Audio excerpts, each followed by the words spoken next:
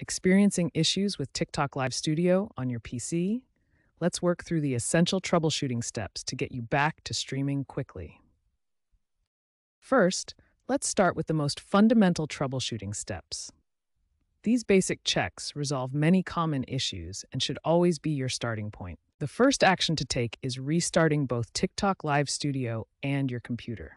This clears temporary files and resets system processes that may be causing conflicts. If restarting doesn't resolve the issue, try reinstalling TikTok Live Studio completely. This ensures you have a fresh installation without corrupted files. Next, verify that you meet TikTok's minimum requirements for live streaming.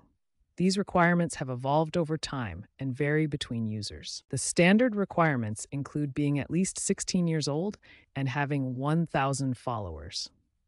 However, some users report needing 10,000 followers and an account that is 30 days old. If you don't meet these requirements, you'll see an Access Not Available error. Contact TikTok support if you believe you meet the requirements but still can't access live streaming.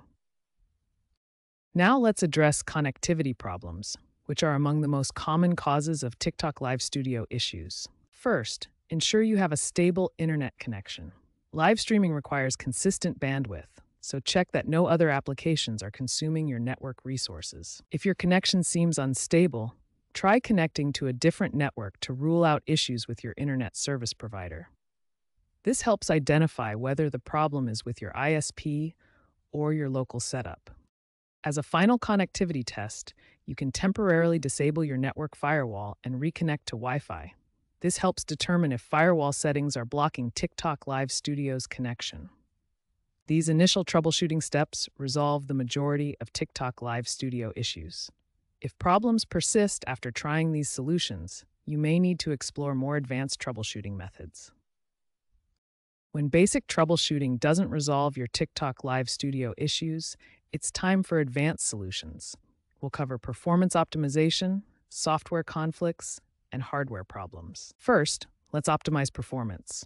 Close unnecessary background applications to free up system resources.